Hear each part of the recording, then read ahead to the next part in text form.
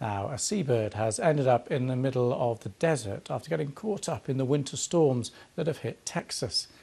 This uh, magnificent frigate is uh, usually found in tropical ocean areas, but ended up in Texas after being blown off its normal course uh, by the storms. A Good Samaritan found the bird and took it to El Paso Zoo.